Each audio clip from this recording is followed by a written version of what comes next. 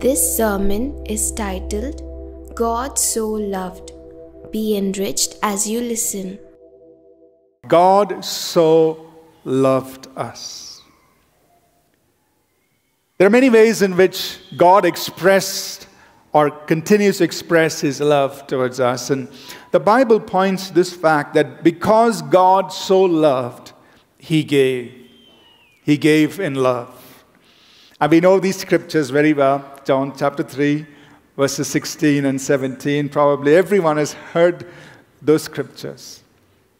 For God, so let's read it. For God so loved the world that he gave his only begotten Son, that whoever believes in him will not die, will not perish, but have eternal life.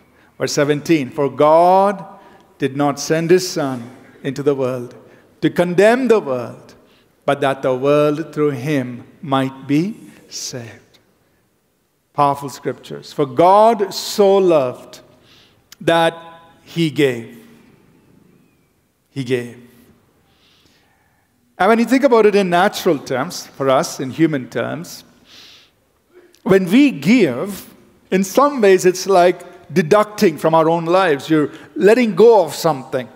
Maybe your time, maybe your money, maybe your friendship. You're giving something. When you give something, you're letting go of something. It's like a subtraction, but it's enriching somebody else.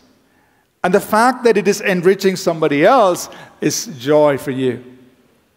So you give, even though it's, you're letting go of something, it's blessing somebody, so you feel satisfied. You're happy that that giving has enriched somebody's life, and that's satisfaction. In God's terms, for God so loved that he gave his only begotten Son, that Jesus Christ, the eternal Word, stepped down from glory came into the earth. Now, we can't comprehend in our minds what that meant for God. What that meant for God. That He would come into our world. Now, the Lord Jesus, in trying to help us understand about the things of God, He used stories from our world to communicate things, spiritual things. And one of the stories that Jesus shared, which many of us are very familiar with, is the story of the prodigal son.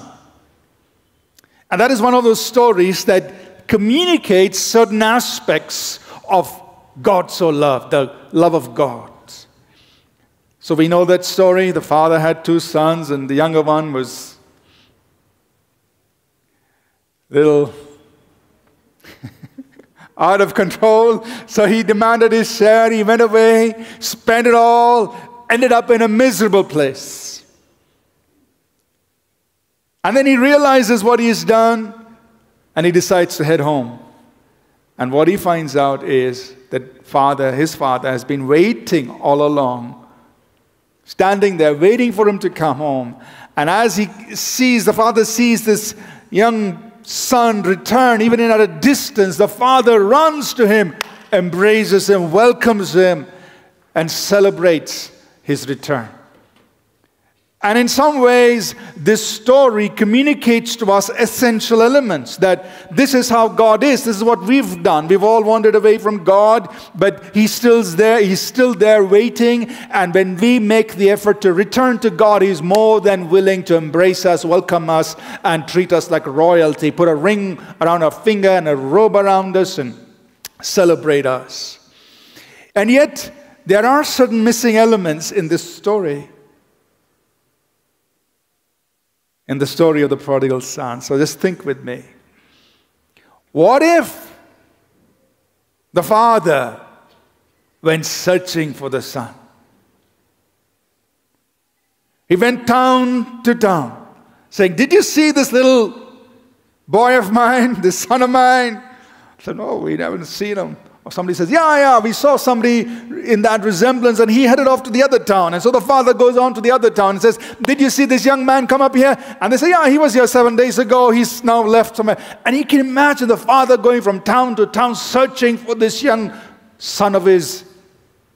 And then he finds him in such an unfortunate situation. He's out there in the dirt and the mire, filthy, feeding pigs. And that's his son. And what if the father says, Hey, there's only one way I can get him back? I've got to go there. And so imagine in this story if the father got in there where his son was and all the dirt and the mire and the filth next to the pigs and said, Son, I want you to come home. Come back. I still love you. And the son said, Dad, I love to, but I can't because I owe a huge debt to my boss, the man he's working for. I have a huge debt and I can't pay it back. And as long as I owe that debt, I'm stuck here. And what did the father said, Son, I love you so much. I am going to pay this debt. And so he goes to this landlord and he says, How much does my son owe? It's paid in full. And he pays that debt completely. And he says, Son, you're free. Let's go. And just imagine, he brought him to a nice hotel, bathed him, clothed him, celebrated him. Now, these missing elements are really part of God's story. In God so loved, or in God so loving you and me. In God's love story, this is what happens God comes after us. No matter where we have wandered, no matter where we've gone, He comes searching for us. All we, like sheep, have gone astray. But God comes after us. Jesus said, I've come to seek and to save that which is lost. He came to us in our lostness. Wherever we were, He came right there. He stepped into it.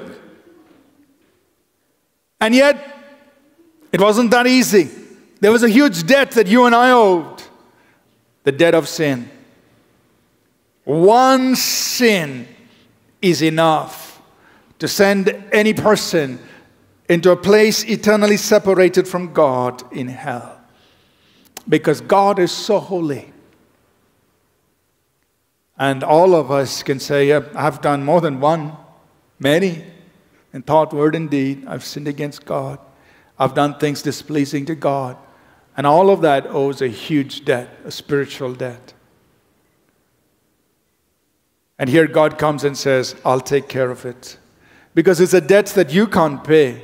It's a debt that is impossible. Nobody else can come and clear it for you. I'll take care of it. And that's exactly what he did. So, in God's love, he died for us. In his love, he died for us. And the Bible tells us, Romans 5, verse 8, God commends his love for us that while we were still sinners, Christ died for us. It's that old, old story, but it's wonderful to repeat. While we were still sinners, Christ died for us. While we were there in the mire and the dirt and the filth, when we had a debt that we could never clear, Jesus came. He died on the cross. He shed his blood. All our sins were placed upon him. And when that debt was cleared, he said, It is finished. It's done. The work is done. So he paid our debt.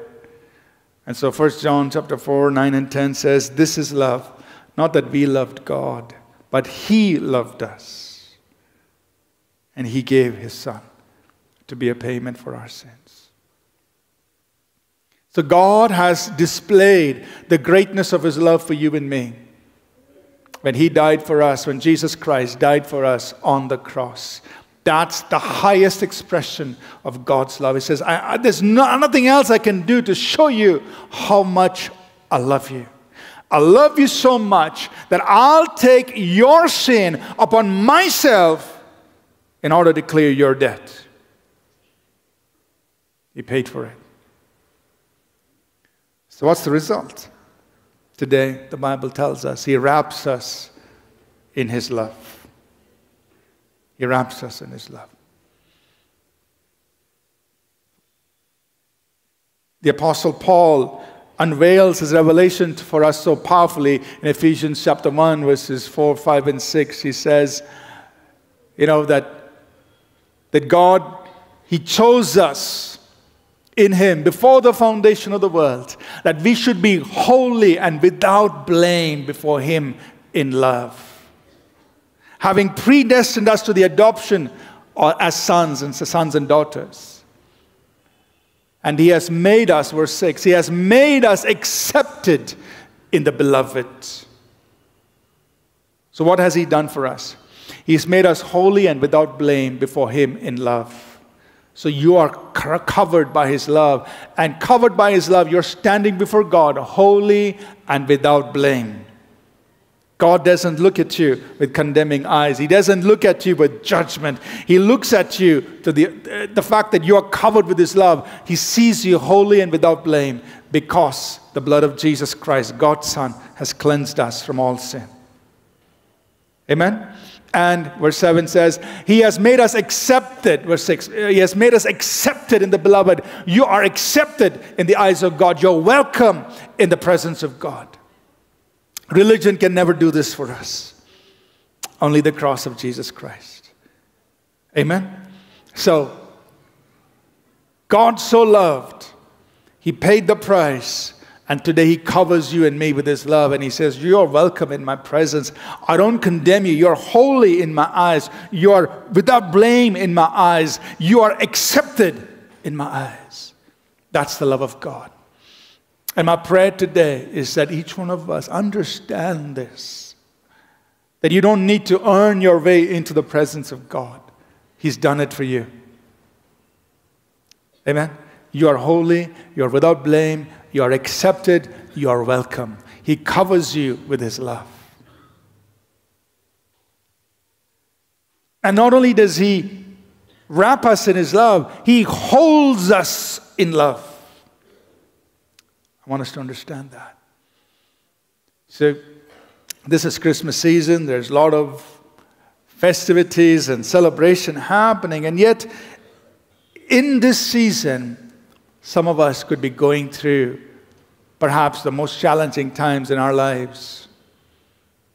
There could be pain, there could be sickness, there could be financial difficulties, there could be problems in the marriage, in the home, uh, so many things. And with, with all the celebration around, and yet there are some who are going through these struggles. Maybe you're sitting, sitting here this morning. There is celebration of Christmas, and yet in your own life, there is pain, there is hurt, there is different struggles. How do you reconcile the two? Well, the Apostle Paul penned these words in Romans chapter 8, verses 35, 36, 37. He says, You know, what can separate us from the love of God that is in Christ? What can separate us? Can tribulation, can trial and famine and nakedness and peril and sword? He says, in fact, all day long we are accounted as sheep for slaughter. So that means even if I'm in a situation like this, where I'm like sheep led to be slaughtered, he says in verse 37 No, in all these things we are more than conquerors through him who loved us. The recognition of God's love the recognition that nothing can separate us from the love that God has for us. No matter what life throws at you, no matter how challenging the circumstance, no matter how dark the tunnel, no matter how high the mountain, no matter how lonely the place, there is this love of God which has not let you go. Amen? So he says, What can separate us from the love that God has? No matter what I go through. I can know deep in my heart God still loves me. God still loves me.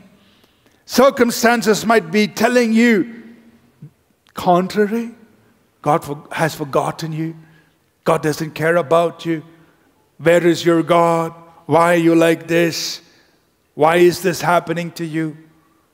I'm so lonely whatever. Oh, that's what circumstances may be screaming at you. But deep in your heart, the Apostle Paul says, We know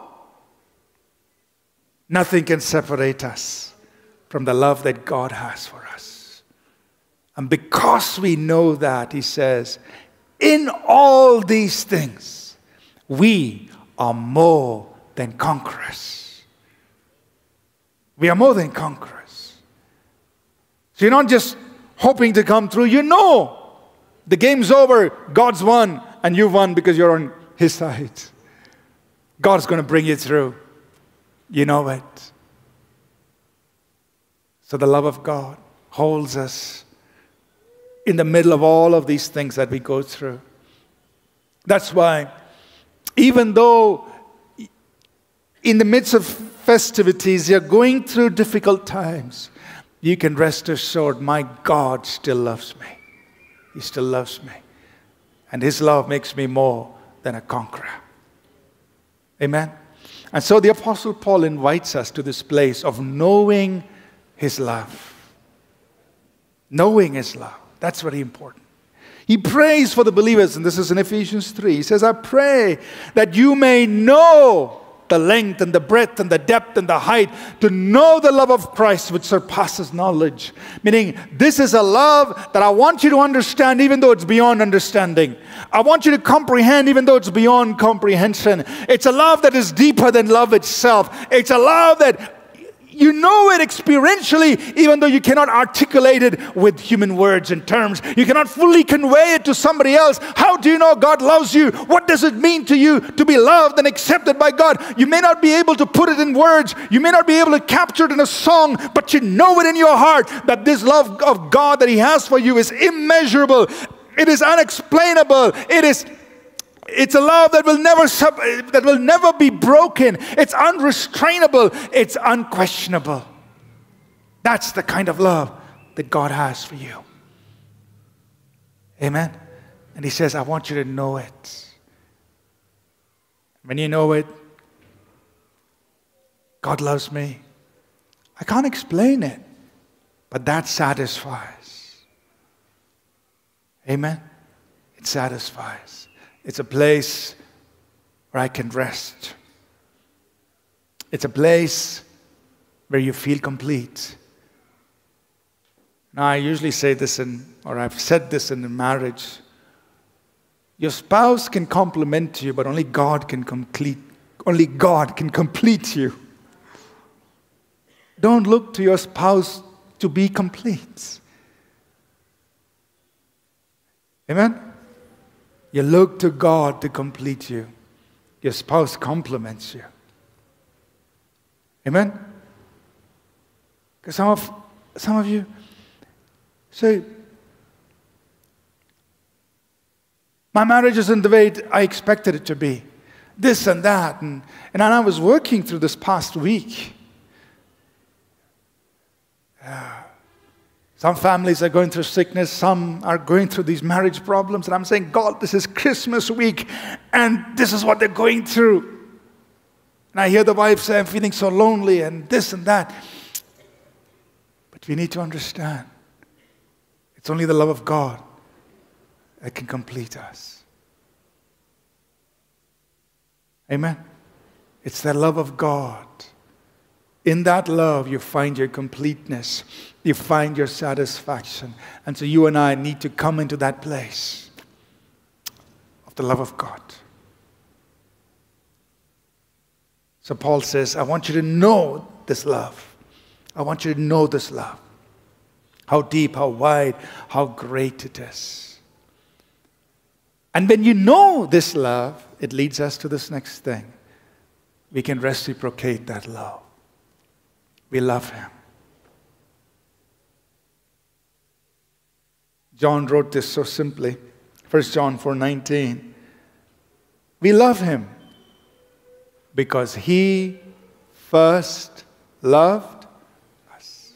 Very simple. Why do you love God? Because he first loved me. And I've tasted and I've seen that he is good.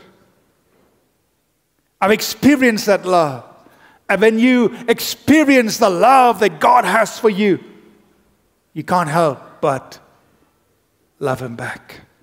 Say, God, I love you. Amen. We love Him because He first loved us. Worship team, please come. You know, many, many, many years ago, as a teenager, when I used to go to the schools to preach, uh, you know, we didn't have worship teams and all that. I just go, and now I, I couldn't sing much. So I hit upon this little trick. there was this old chorus Oh, how I love Jesus because he first loved me. Two lines. Very simple. So I taught the kids that. And all I would do is just start the song and they'd all sing, Oh, how I love Jesus. Oh, how I love Jesus. Oh, how I love Jesus. Because he first loved me. That's how we used to begin those meetings those days. Just sing that two lines, but it affirms why we love Jesus. Because he first loved. So we obey him because he first loved us and we love him back. We serve him because he first loved us, we love him back. We worship him because he first loved us, we love him back. That's why we worship him. Everything we do is in response to his love for us. Amen. And finally, for God so loved, and when we experience that love, it makes us want to love other people. Amen. I know sometimes people are harsh and they're rude and they say all kinds of things and do all kinds of things. But then, when we know the love of God and we've been recipients of that love, we can't help but think of loving other people. If God so loved us, then I owe others that same kind of love. Apostle Paul says, Owe no man anything but love. Love. John writes, he says in 1 John chapter 4, uh, chapter 3, verse 16, he says, By this we know love, because he laid down his life for us. We also ought to lay down our lives for the brethren. See, when we know love, have experienced the love of God, then we begin to think like this. He laid down his life for me so I'm going to lay down my life for others. So experiencing God's love so changes us that we are willing to lay down our life for others. That's what the love of God will lead us to do. Paul writes in Ephesians 5, he says, Walk in love as Christ also has loved us and given himself for us, an offering and a sacrifice to God. Walk in love as Christ loved us. Christ loved me, so I'm going to love other people. I'm going to extend that love. He forgave me, so I can forgive others. He loves me, so I can love others. So that's what we do. God so loved. He has cleared my debt He's brought me into this place where I stand loved and accepted in His presence. He's brought me into this place where I know that nothing can separate me from that love. And I'm in that place where I know I'm loved by God. And I love Him back. And I extend that same love to those around me. Amen. What does God's love for you mean to you this morning? Have you experienced the love of God? Are you in that place where you know that you're so loved by God? Are you in that place where you know that because God loves you, He's never going to abandon you, He's not going to give up on you. Are you in that place where you're able to reciprocate that love back to God? Lord, I love you because I understand how much you love me. Are you in that place where you're able to love people because you've experienced His love in such a way? Want us to just take a few moments to think about this, just ponder on it.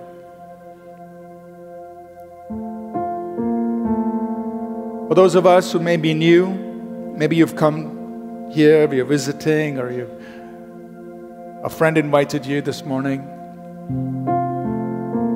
This is the message of the Bible.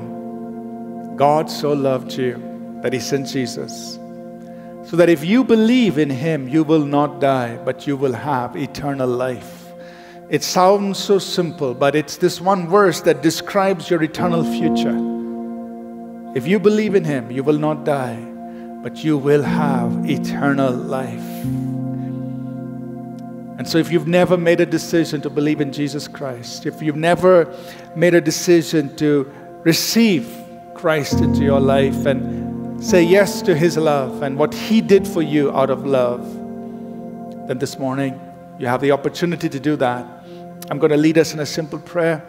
And if you've never received Jesus into your life, you've never said, Lord, forgive me my sins, come into my life, I want to invite you to do that right now as we pray. I'm going to lead us in a simple prayer. Let's bow our heads, please there's anyone here in this auditorium, maybe you're watching online as well, you've never received Jesus into your life. The Bible says, as many as have received him, to them he gives the power to become the children of God. That when you receive Jesus, receive his love, he makes you a child of God. if you're not sure this morning that you are a child of God, that you have received Jesus into your life, if you're not sure, but you feel you want to do that, I want to invite you to pray this prayer with me. Just say this with me. Lord Jesus, I believe you died for me on the cross.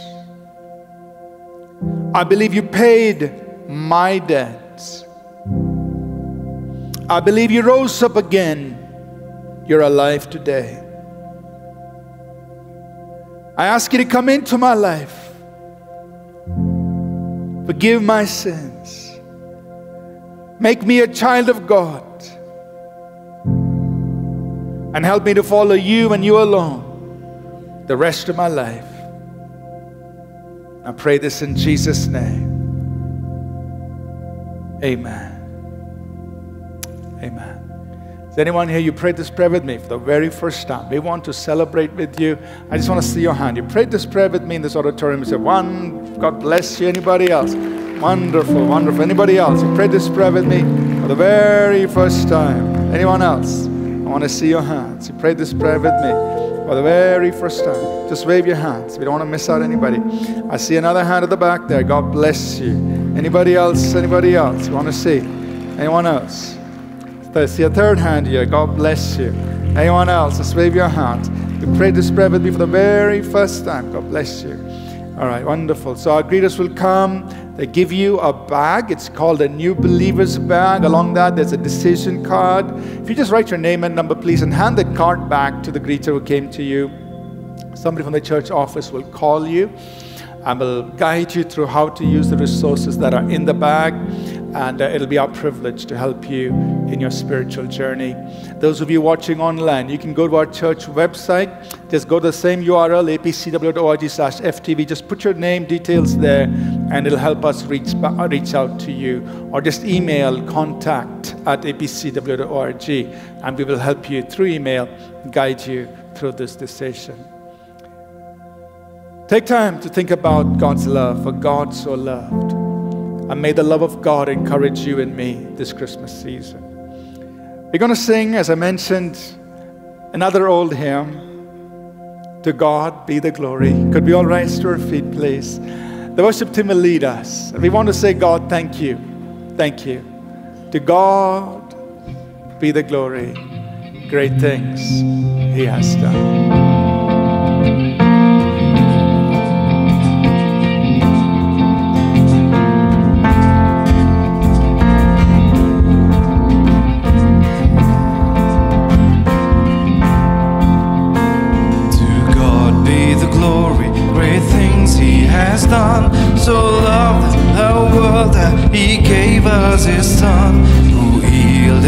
Life and atonement for sin, and open the life that all may go in.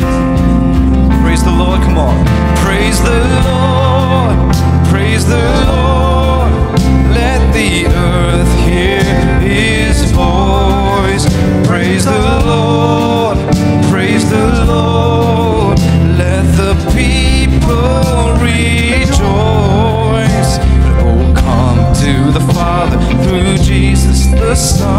and give Him the glory. Great things He has done. Oh, perfect redemption, the purchase of blood to every believer, the promise of God, the vilest offender who truly believes the moment from Jesus a pardon receives.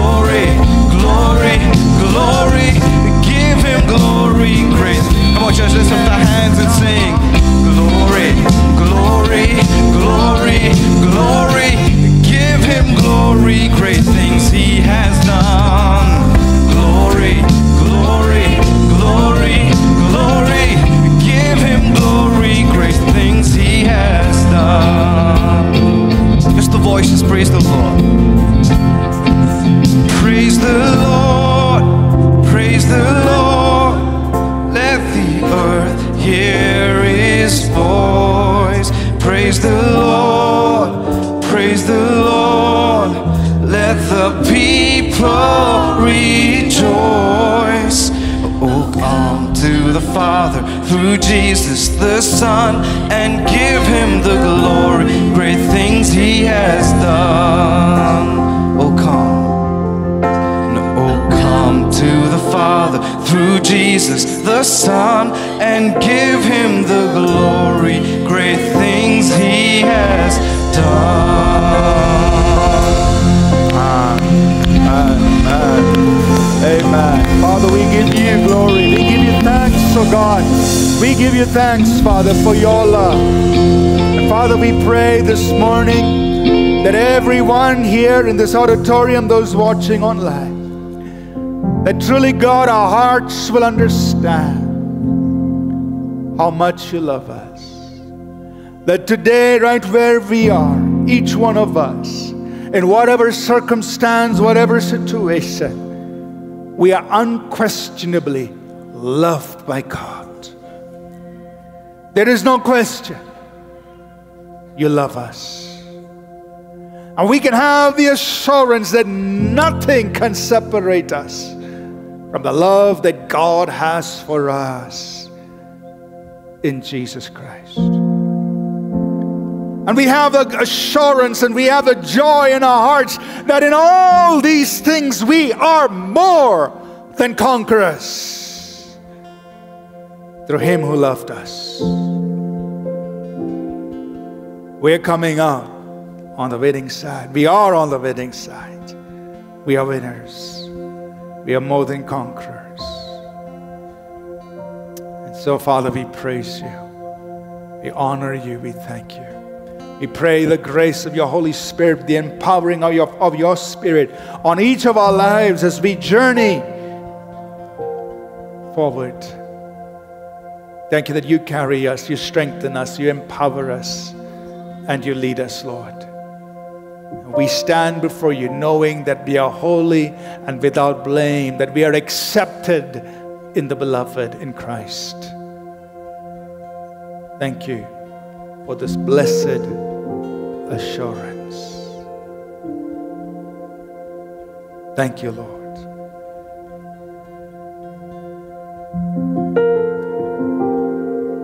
Praise you. We honor you.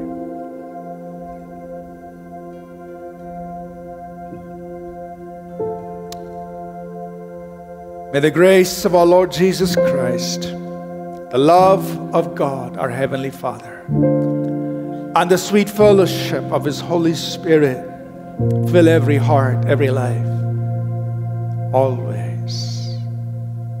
In Jesus' name. Everyone said, Amen. Amen. Thank you for listening. We trust this message was a blessing to you. For more free resources, including sermons, sermon notes, and books, please visit apcwo.org.